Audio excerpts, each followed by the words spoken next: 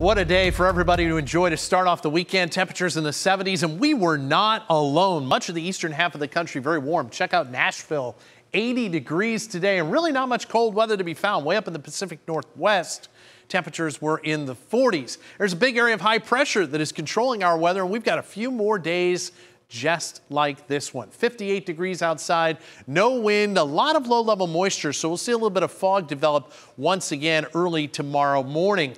Temperatures uh, down to around 50 overnight. We'll be up into the mid and upper 70s tomorrow afternoon. So much like today, tomorrow is going to be a real winter. Up in the mountains, a little bit of fog early on and then mainly sunny. Temperatures up around 70 degrees to finish off the weekend. And the 70s are here to stay for several days, right through much of the coming week. A little cooler weather moves in by the time we get to Friday and Saturday. Of course, one of the big weather features is down in the Caribbean Eta is back to tropical storm status and, in fact, trying to get back to hurricane status. Winds at 65 miles an hour. It's moving to the northeast, going to cross Cuba. And as it interacts with the higher elevations, it's probably going to weaken a bit again. But as it moves into the Florida Straits, it should at least maintain tropical storm status. And notice it kind of flirts with the west coast of Florida through much of the coming week.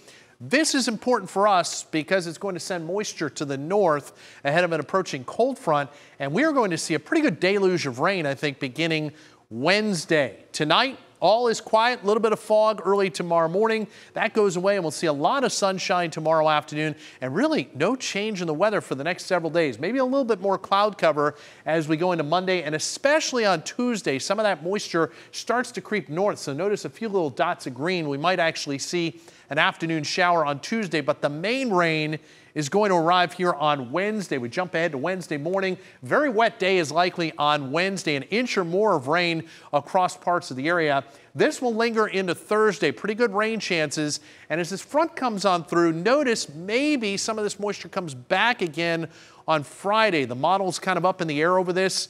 One saying it's going to be drying out, one saying it's going to be wet. So Still a little uncertain about Friday into Saturday, but it appears gradually we'll get a little drier weather in after some wet weather Wednesday and Thursday. No wet weather tonight, mainly clear. Little fog in the morning. Temperatures in the upper 40s to around 50 in the metro, lower 40s off to the northwest.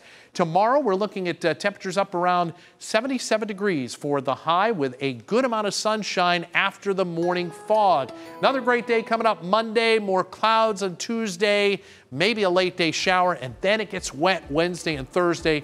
Showers could linger even into the early part of next weekend.